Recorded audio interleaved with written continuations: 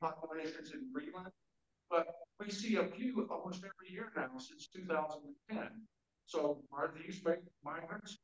And then we have greater white-fronted goose, which is a bird that's found breeding in the western part of North America. And they are so common now, so, common that they're not even reviewed anymore by the Maine Bird Records Committee as a rare bird. So we call these greater birds, they're here, not many, they're then we have parrots, a bird like the little egret, which was, I think, first 2011 was the first one that was found in Maine but they show up every year now. So you see a few, you pick up a little egret on your, on your life list or on your year list every year want to. Then we have this whole group of birds that are called eruptive species. Eruptive species. So erupt is just the opposite of erupt. Are you, you getting some back, uh, I, am hearing some back uh, reverb in my uh, screen here. Are you Oh, okay. I'll just, I'll just put a minute. Um, she, she means she mountain, right? Involves means to move into. So an eruption is a moving of birds into a particular area. And we have a number of these eruptive species, which is this bird here, the northern hawk and as you see the challenge here, the first open outlets is located just a few miles from our house. It's Route 27 uh, that would be putting on these are the groups that bring in high And what happens with them is sometimes their hoops fly into opponents, lemmings, things. So when that happens, they are forced to move south. So every now and then they get a move out, maybe once every five or ten years. Same thing with the great greyhounds. They come down um, every single season, sometimes you with scoopers like 50 or 60. But then we get snowhounds, and they occur here every year almost. See, we found these birds, England's or not. Yep. We can see. Okay.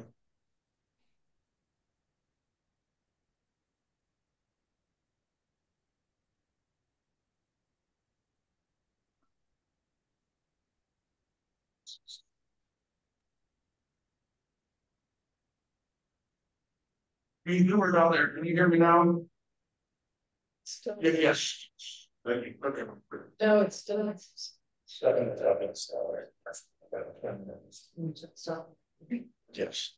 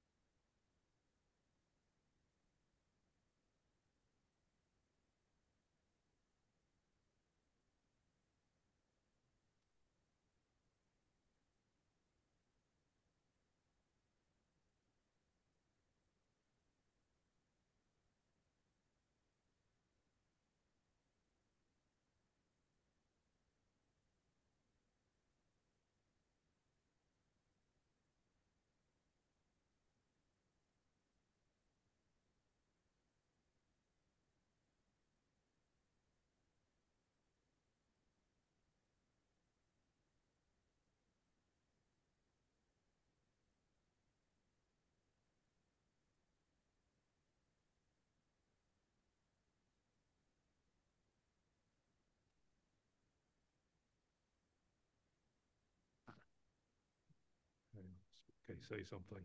Hello, how are you folks? Okay, his microphone is working.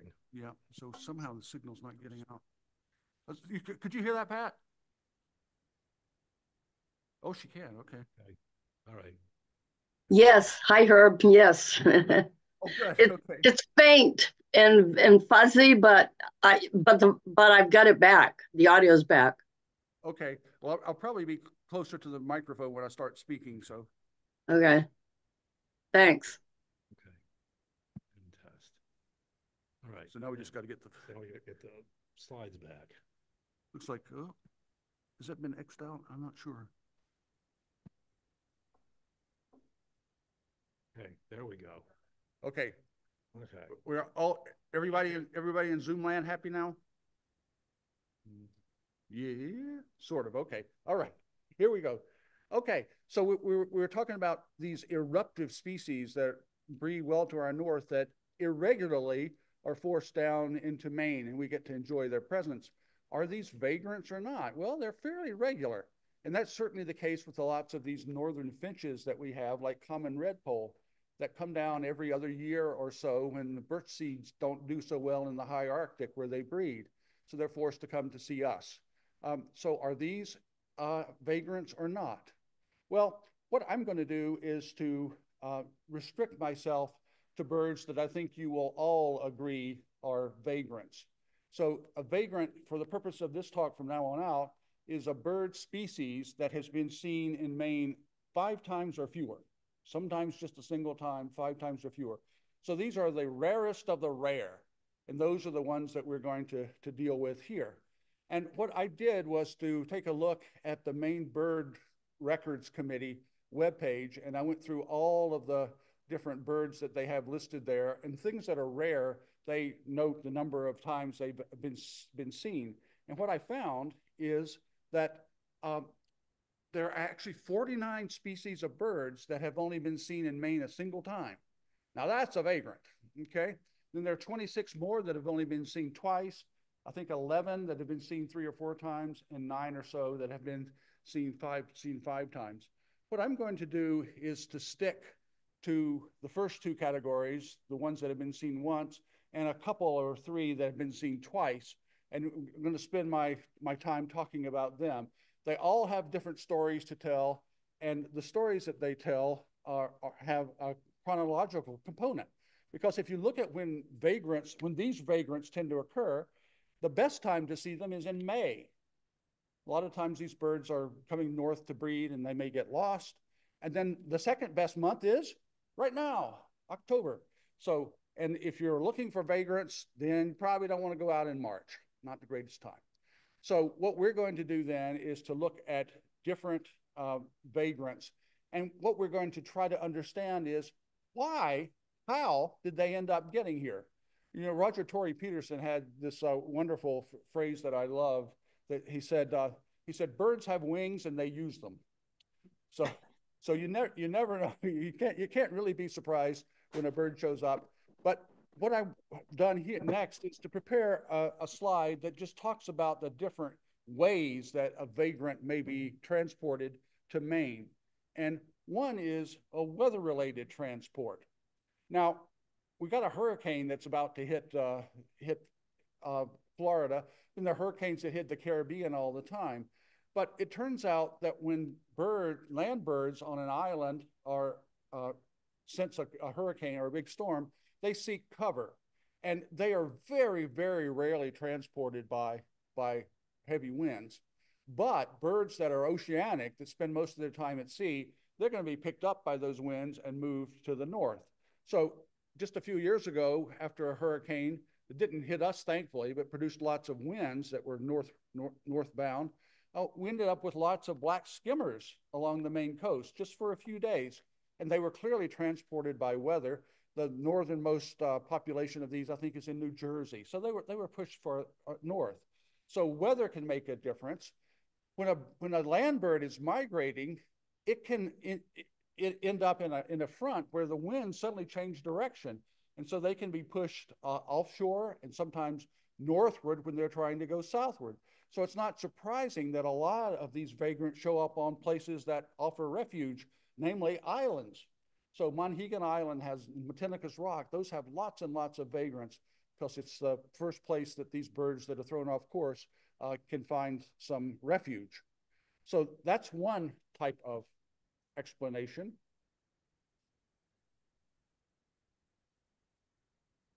Then navigational errors. So we know that birds use a number of different uh, cues to migrate. They can use the position of the sun, position of the moon, the position of polarized light, which indicates where the sun is set, the ma Earth's magnetic field. They can recognize landmarks. Not all birds do all of these, but those are some of the ones that have been used by, by birds. But we can take, we can make a gross generalization and talk about um, learned versus imprinted migration routes. So a lot of birds that aren't songbirds um, have family units and the young are taught the migration route by the adults. They all migrate as a family. Isn't that sweet? Down to wherever they're going to, to overwinter. And then they learn the way and they can go back north in the, in the spring. But a lot, virtually all land birds have their migration route genetically imprinted. They have nowhere, no idea where they're going to go. They just know where they should go, which direction they should fly. So it's most remarkable. Well, anytime you have genes involved, what's possible? Mutations. So occasionally you get a bird that has a mutation. So when it is told to migrate to the northeast, it migrates to the southwest. And so it goes 180 degrees off course.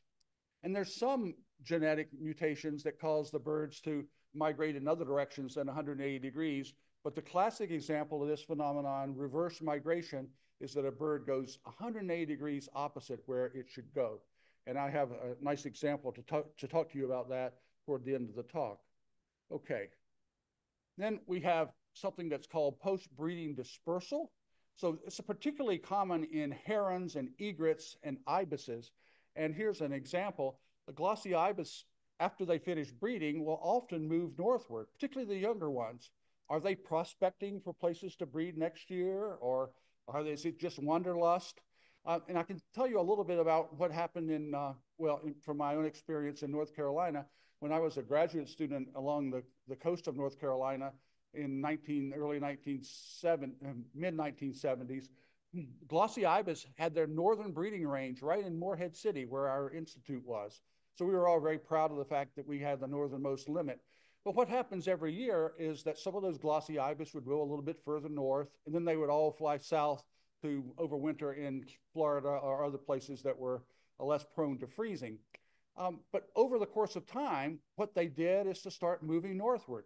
And now we have glossy ibis nesting in Scarborough Marsh, even, even in down East Maine. So they, this post-breeding dispersal has actually resulted in a range extension for these species, and it's also true for other herons and egrets as well. Then we have birds that overshoot their breeding area. So this particular explanation involves migratory breeding birds. So they're birds that are, are flying as hard as they can, particularly males, to get north so they can get a, the best uh, breeding ground. And sometimes they go a little bit too far. Not often hugely far, but a little bit too far. And here are a couple of examples, three examples. Um, one is a hooded warbler. Um, they breed in, in Connecticut. Worm-eating warblers breed in Connecticut, and summer tanagers are even into Massachusetts. They don't breed here, so we consider them vagrants, but they're vagrants only for a short time because they went, oh, a little bit too far. I got to backtrack to get down to where I want to be breeding.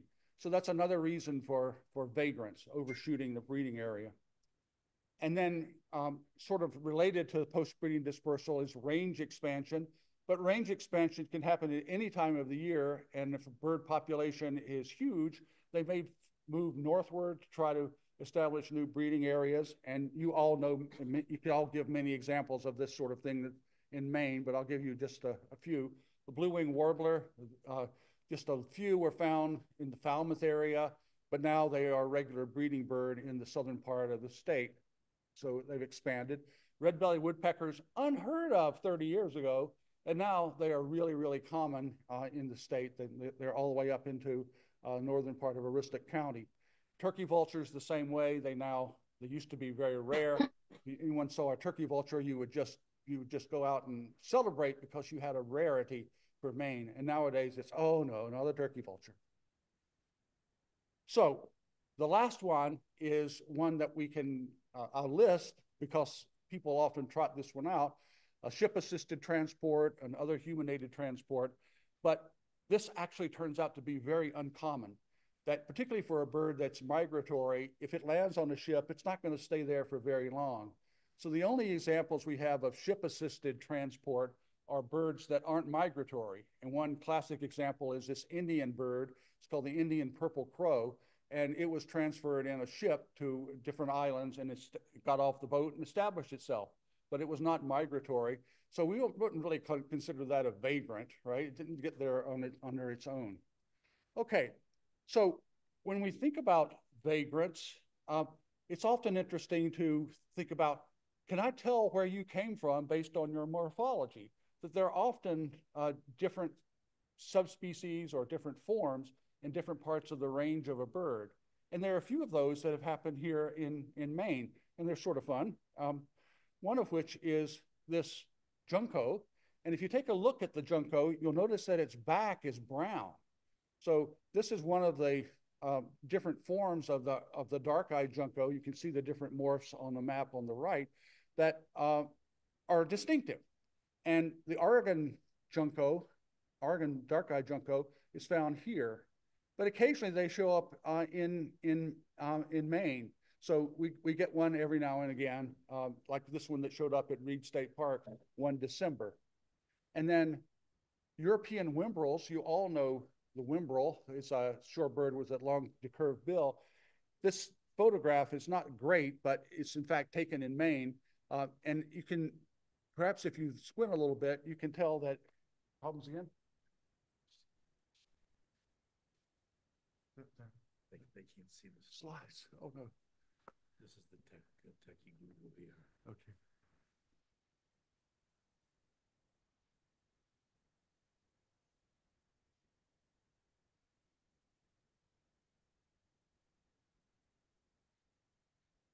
Slides now?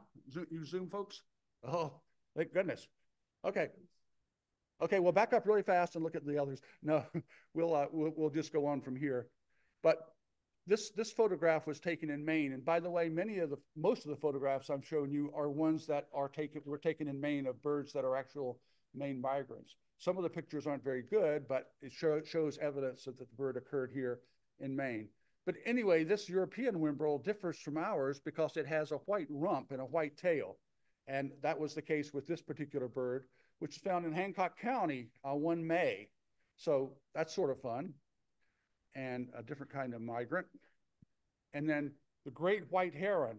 If any of you have been to the Florida Keys, you've seen the great white heron. It's a variant of the great blue heron, but it's perfectly white. Uh, and occasionally they get they disperse northward. And we had a great white heron in Maine, in Ox over in Oxford County, in Stoneham, uh, one June. So how it got there, that's a good question. Then we have one more. This dunlin, the, the bird in the background with the black belly, uh, is a type of shorebird. And the population in Greenland uh, is different from the population that we have on our Arctic tundra in that the bill is relatively short. So we knew this bird came from Greenland. So it's not, it's a vagrant, but it's not a vagrant species. It's a vagrant morph or vagrant subspecies. Okay, so now we're into the teeth of the talk. And what I'm going to do is to go through and we're just going to look at some of the rarities of, of that have occurred in Maine. And I suspect you'll salivate. Boy, I wish I could have seen that one. Boy, that was a really cool bird. But uh, we'll go through and, and what we want to think about is as you go through, can you think of a reason how this bird might have gotten to where it could was? Could it have been weather assisted? Could it have been post breeding dispersal? Could it have been navigational error? Uh, in many cases, we just don't know.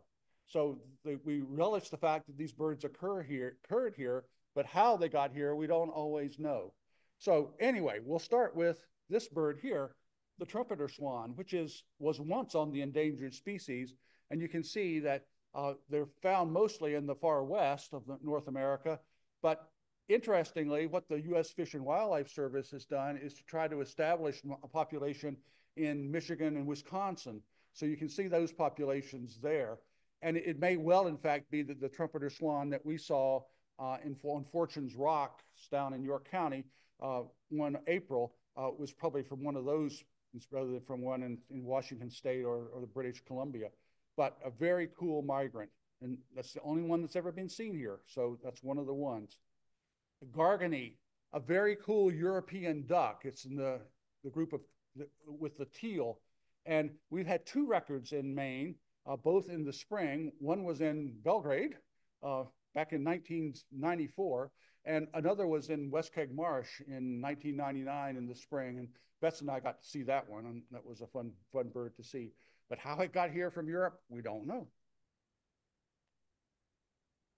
Willow ptarmigan, this is a grouse. You don't think about them migrating large distances, but one showed up, and you can see that they're found at high latitudes in North America as well as Eurasia. But we had one show up on Greater Chebeague Island one June, and it stayed there for four weeks. So who knew? And it wasn't always easy to find. Betsy and I made two trips to try to find it, and we struck out both times, but uh, some people were lucky enough to see them. And then this is one we did have luck with. Um, Clark's grebe is a large grebe that breeds in um, Western North America.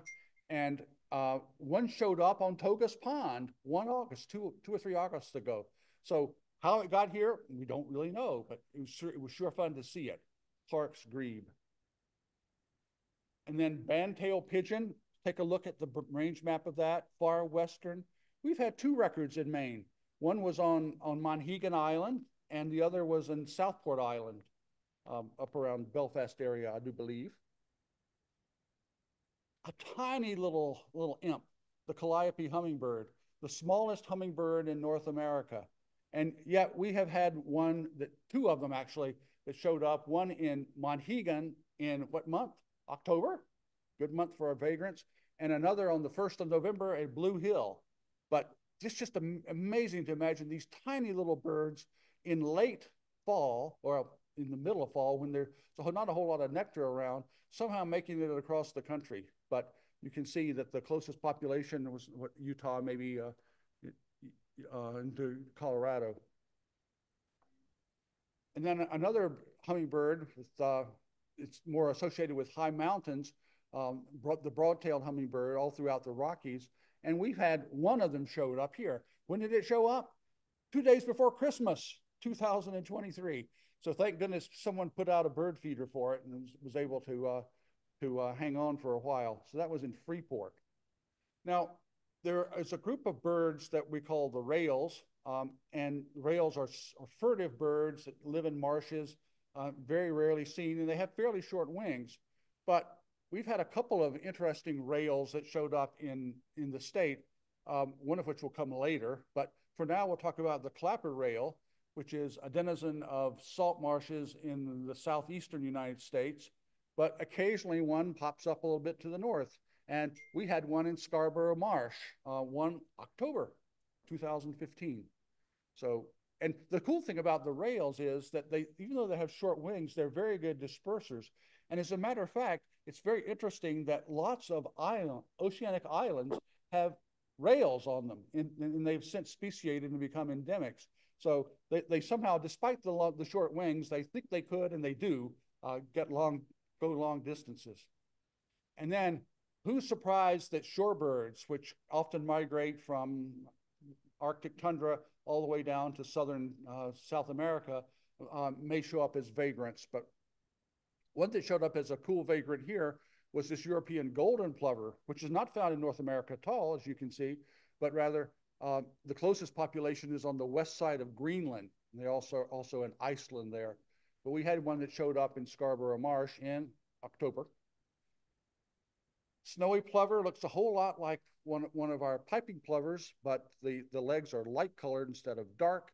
And um, you can see their populations are, are Midwest and further west. Um, and we had one showed up at Reid State Park one June for just a day or two. And then the bar-tailed godwit is perhaps the most amazing of all shorebird migrants. They migrate from um, from the high Arctic tundra in North America all the way to get this one, Australia. So that's quite a quite a distance to go. So it's perhaps not surprising, despite the fact that their breeding distribution isn't really close to us, that one showed up here in Maine. It was on uh, Petit Manan National Wildlife Refuge, just off the shore, offshore in Washington County. And then we have the puffin relatives. So the ancient murrelet, that's the one in the front here. And this again is the, the one that occurred here. So it's not the greatest picture, but it's good enough to identify it. Ancient murrelets are these puffin relatives, and you can see where they're found on the Pacific West, well, on the Pacific Rim, really, right? Um, so how did one get over here? Well, we don't know. But anyway, one showed up and it was a pretty cool sighting.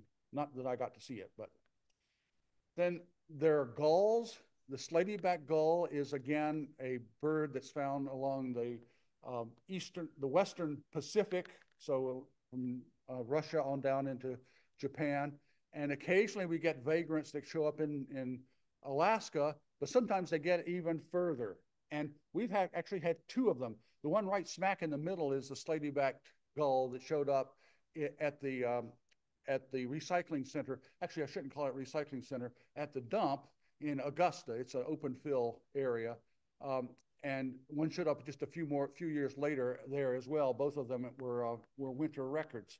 So pretty cool. That's a lot. That's a long way to go. That's a real long distance vagrant there. Then we have sooty terns, which are tropical terns. Um, and again, not really surprised that terns get moved around a lot, that they can fly, and they're often over the ocean. So you can imagine how a storm might push a sooty tern up into the Gulf of Maine. But we certainly had one of these guys, uh, and, which showed up uh, out at Matinicus Rock, well offshore. And then there's this beautiful bird here, the white-winged tern, but it's it's not so much a wanderer as a sooty tern. It doesn't spend as much time at sea, but rather is more of an inland tern like our black tern. And you can see their distribution is in Africa and in uh, Eurasia. Uh, and somehow we ended up with a white-winged tern here. This showed up at Laudholm Beach down in Wells, uh, one June 2003. This is a great story. Uh, this, this is a red-bill tropic bird, which is a, uh, a pelagic bird. It spends most of its life at sea. And you can see their breeding distribution is pretty strictly tropical.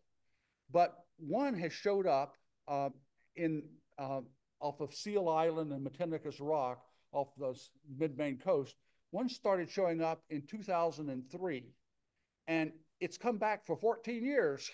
So uh, that's it's one bird, so I consider it a vagrant. It just it doesn't get the memo that probably you're not going to find a mate here, but it keeps coming back. And so uh, actually, one of my friends has actually made a pretty good living because he has a boat and he takes people out to see to see the red-billed tropic bird. Uh, so that's pretty cool. Then we have uh,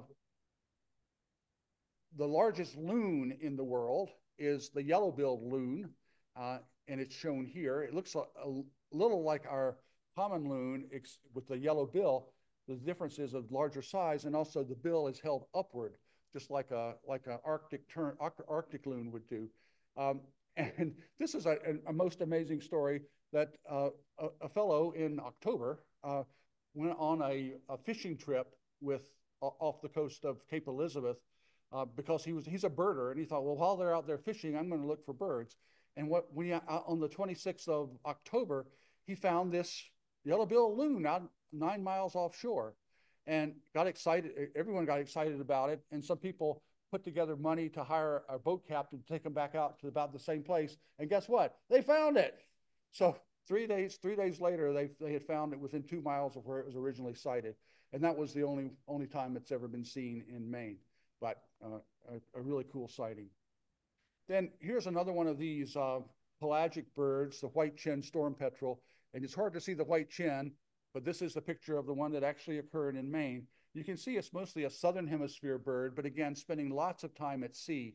So it's not hard to imagine that this is a bird that's been moved forward by, moved northward by, by winds, perhaps a, some sort of storm.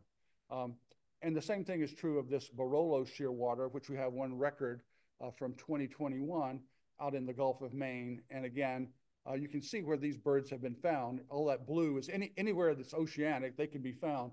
So it's not too surprising. They breed off the coast of Africa, but you know, uh, one of these shorebirds can wander a thousand miles in a single day. they're very good at using the wind to, to move them around. So not as surprising perhaps as some of these other vagrants that we've seen. Then we've got masked boobies. They're related to the northern gannet and again, tropical in nature. But we had one showed up one August and uh, at Mount Desert Rock, uh, Mount Desert Rock off the coast of MDI. And then this, this was an odd one. This was a little Cobble Beach in Lamoine, very, very far away from the ocean, uh, well, far away from the open ocean. Uh, and this bird was resting there. It's a red-footed booby. Eh, you can see they're mostly equatorial, in, nudging down into the southern part of the of the world. Uh, but we found someone found one here on a single day in uh, in July. And then this is a bird that was recently seen. You, it may have hit the newspapers here, uh, it, at least in the Waterville area. They were calling it the fossil bird, but this uh, cormorant relative, the anhinga, which is mostly in North America and the southeastern U.S. One showed up uh, in in Maine in Somerville, not even close to to uh, the coast at all, uh, and was there for uh, five days. So a lot of people went to go see this this bird. And then this was a weird one too. again, roseate spoonbill. It showed up in uh, in um, Sebec, Maine, in a little farm pond first record for North for uh, the, for New England, the bird that's found in the southern United States uh, along coastal areas, and somehow it ended up here. The zone tail hawk is found in the desert southwest. That's the closest populations here. Uh, when birders see one of these birds, they say, "Oh, there's a ZT," and then that, of course, has become translated into a pasta hawk. Get it? ZT, pasta. So anyway, the pasta hawk we have one record uh, that for the state of Maine. Um, and barn owls are very common worldwide, but not in Maine. And we have two records, one in Belfast and one in Albion, uh, but very cool. That's the one in Albion there. Burrowing owls, western part of the United States, we've had two showed up in Maine, very cool birds. And then this is a type of falcon called a crested caracara that actually spends a lot of time on the ground chasing rodents. And we have had two show up in Maine. Um, and you can see that the closest population is, is, actually there's a population in Florida. I'm not sure if it shows up well on that map for you. Uh, it doesn't for me, but uh, there's also population in Texas.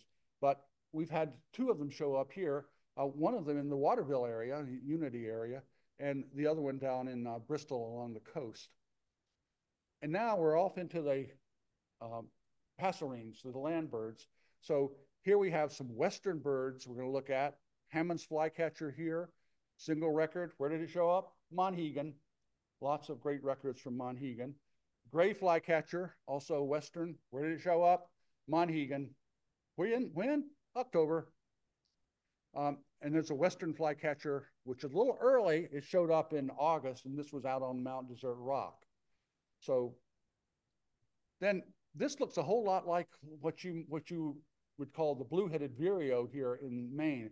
The solitary vireo, the, the, name that used to be, was actually split up into three different species. So we have the blue-headed, then there's Cassin's and plumbeous. And guess what we found in Maine? Cassin's vireo as well. You see it's mostly western. And plumbeous, which is mostly Rocky Mountain. Uh, but we've had both of them show up on Matinicus Rock, well offshore. So it's a very common uh, swallow out west related to the tree swallows.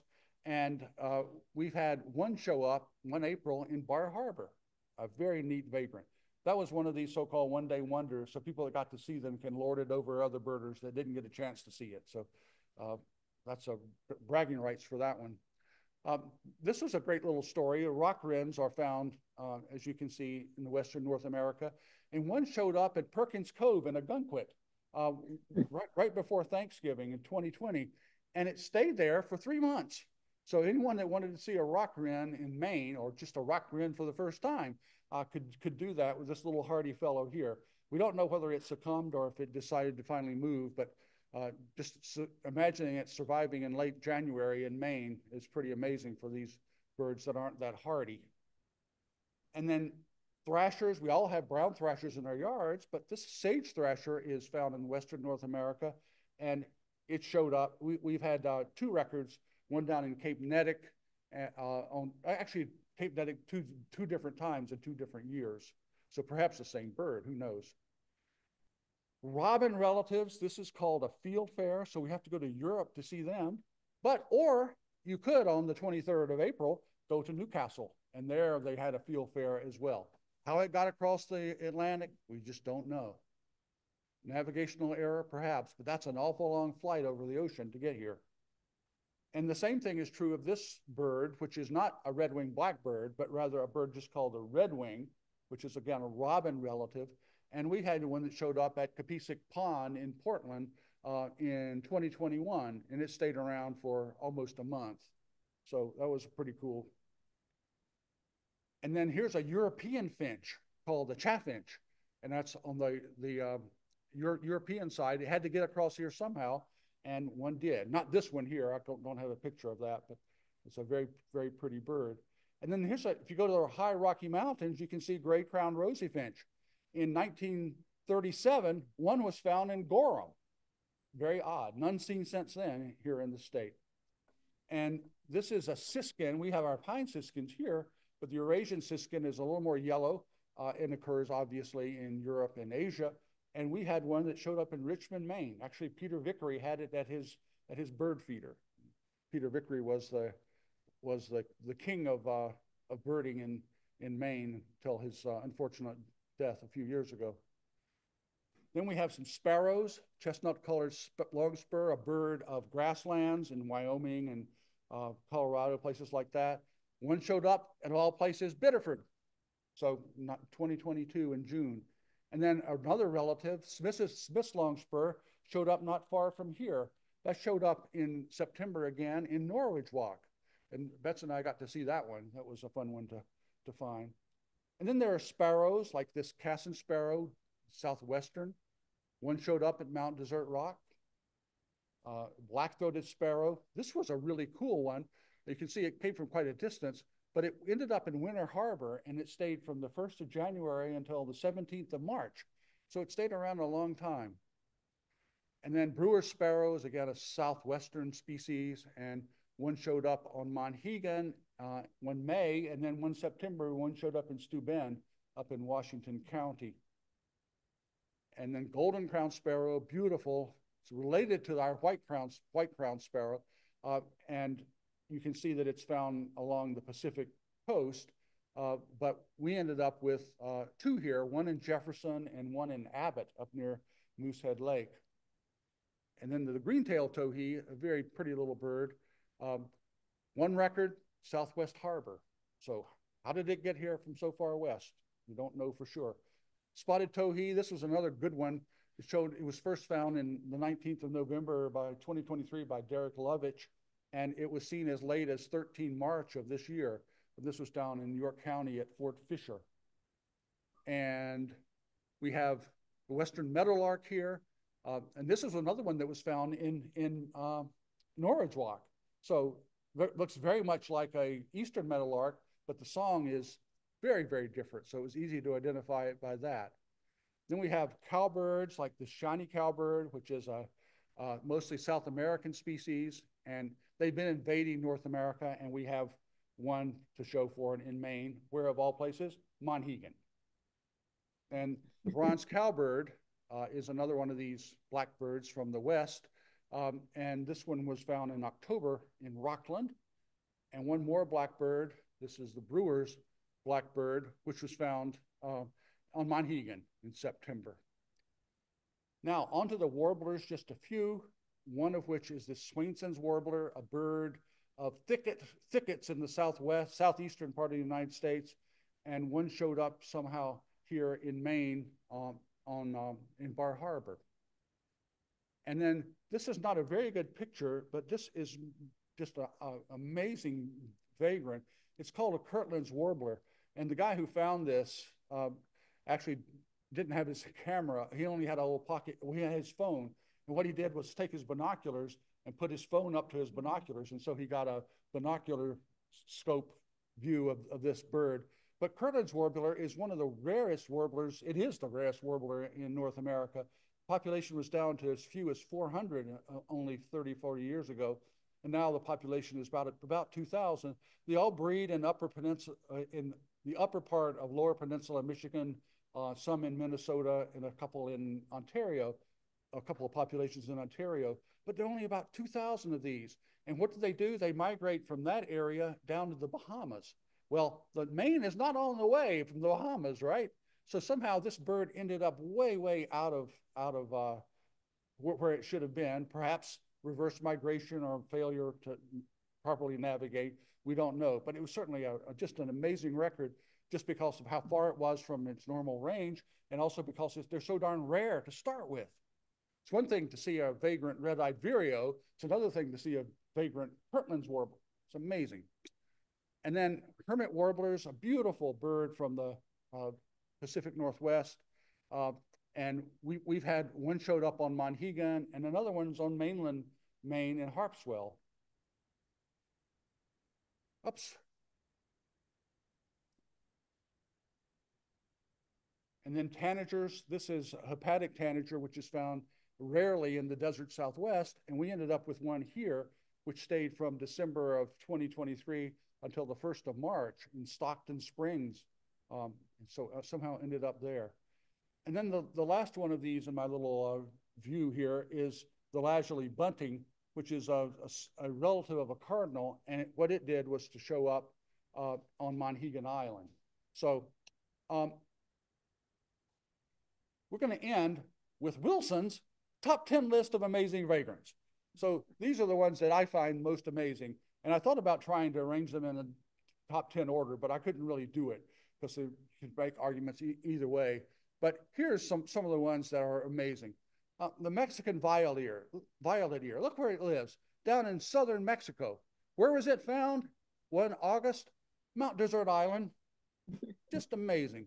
It was it stayed there for two days and then it vamoosed. Then remember I talked about the rails and how they have short wings. Um, and this is a type of rail called a crake, the corn crake. And the corn crake is uh, shown here. Um, it was photographed on Monhegan. This is the actual one that was there. And uh, what, what we ended up with is somehow a bird that ended up in on Monhegan Island. The closest population, probably Scotland. Okay. And I'm going to take a very brief break because I have to run to the bathroom.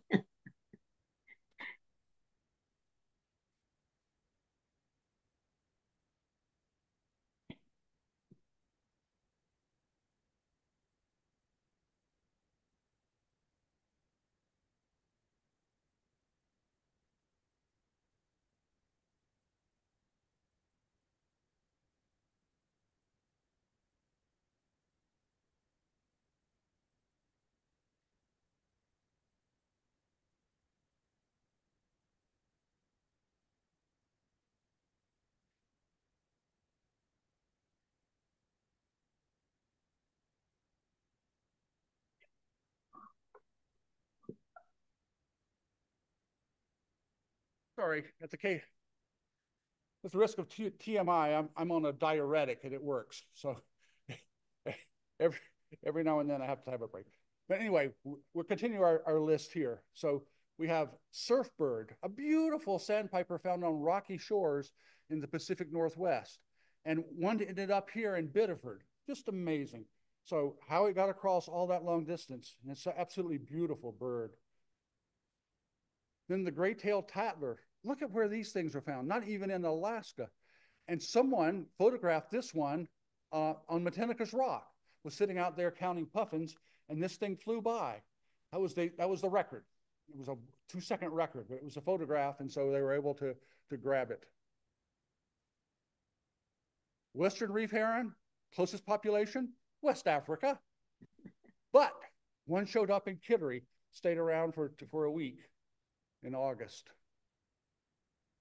The great knot, again, sort of like the, the uh, gray-tailed tattler way up there in eastern uh, Asia, but no, not in North America normally.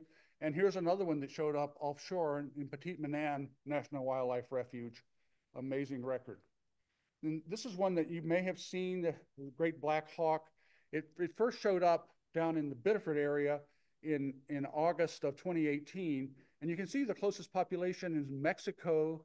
Um, some, but somehow it ended up in Maine and people saw it for a, a little bit and then it disappeared. And then it showed up right in downtown Portland at a park. And it stayed there from the 29th of October until the end of January when it died. But it was just an absolutely amazing record. Um, and, and it was the, it's the only North American, North American record. Can you believe that? And where does it show up? In Maine. So fantastic stuff. That's a vagrant for you. Here's another vagrant. This one was uh, fairly short term, but someone saw this bird out on North Haven. It's called the Western Marsh Harrier. You can see they're found in Eurasia. So that's the source population in Africa as well. That's the source population. And somehow uh, it ended up uh, in down in Thomaston as well as in North Haven. So it stayed around for three days, and a lot of people got to see that one. And then this next one won't surprise you. It's the Steller Sea Eagle. Okay. So that's a great vagrant. And even though it has showed up in Maine two different years, showed up first on the 30th of December 2021 and stayed until the first of March, the early March in 2022. And then it showed up again the following winter um, on the 4th of February and stayed around for 11 days and then it disappeared. It's still alive and it's still in Newfoundland, but uh, I, I count this as just a single vagrant, even though it came see us two different years. But uh, again, the, the uh, source population is uh, is is Asian, um, and occasionally get, we get a record in um, in Alaska. But finding one here is crazy. And you know what? You, you remember what the whole story behind this thing was? It was first seen in Texas, and then it showed up in Massachusetts, ended up in New Brunswick, Maine, Nova Scotia, back to back to Massachusetts, then to Newfoundland, and it's just going all around. It is truly a vagrant. So a lot of its movements have been of its own volition. There's no question about that. But did it get all the way across the country by itself? Well, quite possibly. Did it have some sort of navigational error? Possibly. We just don't know. But I think all of us were just thrilled to, to be able to see this uh, fantastic bird. And then the last one I have is my favorite example. Um, and it's this flycatcher called the variegated flycatcher. And one showed up in Biddeford Pool, at Biddeford, the area around Biddeford Pool, um, on the 5th of November in 1977. That was before we moved to Maine. So, and I, but I remember hearing about that, and people were saying, "Wow, there's this sulfur-bellied flycatcher in Maine," and everyone thought, "Wow, that's pretty cool." The sulfur-bellied flycatchers, now called streaked flycatchers, live in south southeastern Arizona. So if you want to see a, one of those, that's where you go. But then people realized that, that this bird that they saw here in Maine was not, in fact, a sulfur bellied flycatcher, but in fact, a variegated flycatcher. Look where they live. They live in South America. And this is one of the few species of, of passerines that's what we call an austral migrant. So they spend their winter in the equatorial regions. That's pretty good. But instead of migrating north to breed, they migrate south. So they migrate to the south. Um, and what we, what we think what was going on here is that this bird was trying to migrate from here to here, and we think it was a reverse migrant. And so if you draw that line, extend that line, guess where you end up? Biddeford, well, at least, at least close by. Uh, you, you end up in the northeastern part of the United States. So the bird stayed around for another five days, and a, a lot of people got to see it. But it was just uh, fantastic, and I think this is one that we can clearly attribute to to reverse migration. There's since been four or five other records. Let's see, Ontario, Tennessee, Florida, Washington State. But the variegated flycatcher was the first record for North America. And isn't that amazing? An Argentinian bird ending up in, in the state of Maine. So anyway, there was a lot of a lot of pictures there, and I hope that, that you got to think about how the birds got to get how they got where they did, perhaps how how they did. Uh, but the, the vagrants are just absolutely wonderful to see, and then it's also wonderful just to think about how it is they came to be where they are, where they normally wouldn't belong. So anyway, I will stop there, and I'd be delighted to take any questions you might have.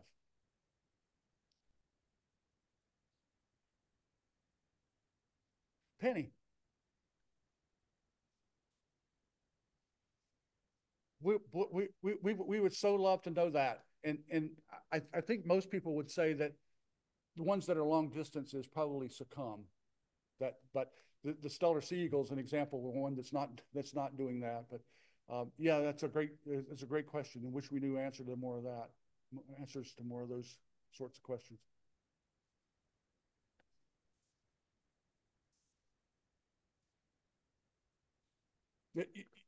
That's, a- that's, a great question. Yeah, the, yeah, so there, there are, it's easier to see birds on islands where there's not many trees, right? And there, there are places where lots of rare birds have been found, so that means birders go there and they find more rare birds, and that means more birders go there and they find more rare birds. So that, there's that effect. It, it actually has a, a name in the birding, uh, literature. It's called the Patagonia picnic table effect. And the reason it called is, is Patagonia is a place in Arizona. This Patagonia is a place in Arizona where there's a little picnic table and someone found a, a, a rare bird there uh, some years ago. I've forgotten which one it was. But anyways, birders started flocking there. Um, and, and they, of course, they started finding more rare birds. And so all of a sudden, the Patagonia picnic table was, was just this constant roiling of birders coming in, finding all these rare birds. So there's some of that going on as well. But I think there's also some of the fact that birds are pushed offshore by these winds that they don't expect and that they find these islands as the first, first place of refuge. So that's part of it, I think. But uh, yeah, it's a great, question. Yeah, there, there could, there could be a whole lot of vagrants up in the middle of Aroostook County, but no one ever birds there, so who knows for sure, right? Yes, please.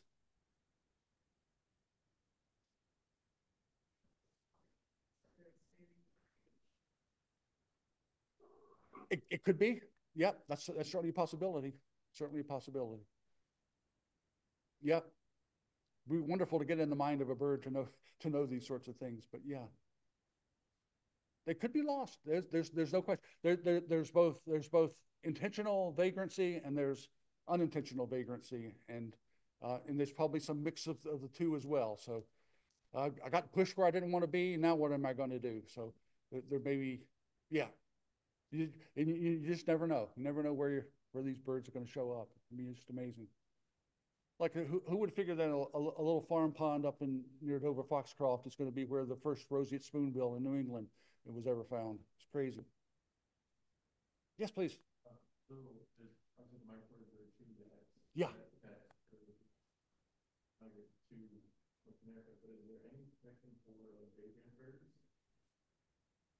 Yes. Um, the, the, the- in some ways, the Migratory Bird Protection Act is, is misnamed because what it, what it really does is to protect any bird that is wild uh, in North America, even if it's not native. So the Migratory Bird Act does, does not protect starlings, pigeons, uh, and uh, house sparrows. Uh, and it also, they're game birds that are not subject to that. They're dependent more on hunting, like hunting, hunting laws. But other birds, including vagrants, are absolutely protected. So if someone were to kill Steller Sea Eagle, they, they would suffer the same, um, uh, be charged with the same crime as they shot a bald eagle, which is big time stuff. Yeah. Yeah, I, I remember there was one, one guy in Washington State when we were living out there was, was caught shooting a bald eagle and it cost him ten thousand bucks. So.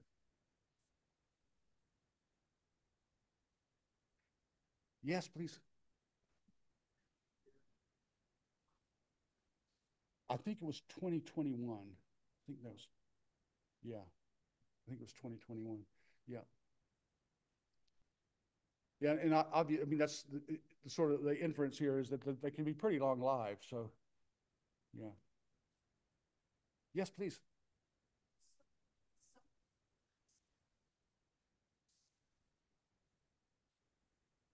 Yeah.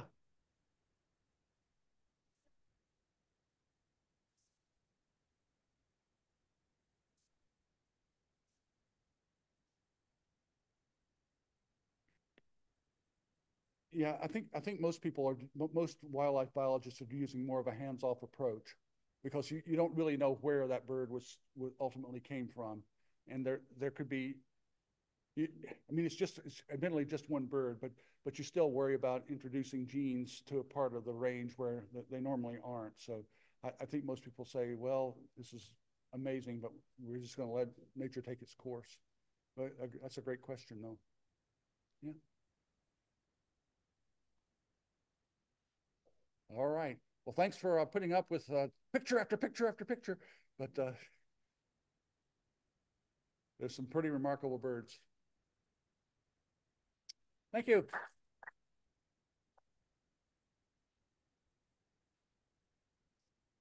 Thank, thank you, Zoom people.